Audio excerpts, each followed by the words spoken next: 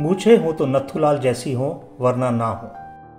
The person who is been praised in this dialogue of Amitabh Bachchan starrer movie Sharabi was Mohammad Umar Mukri the role of a chubby Mukri of four feet height may have been small but he never missed on making the audience laugh born on fifth January nineteen twenty two in Alibag today is the birth anniversary of Mohammad Umar Mukri so let's reflect on his life Umar Mukri was a talented personality. He was a Qazi before appearing in films, whose job was to teach the Quran to children in a madrasa. Mukri had to work in Devika Rani's film studio Bombay Talkies to support the family. He started his career as an assistant director in Bombay Talkies. Mukri started his Bollywood career with the film Pratima opposite actor Dilip Kumar.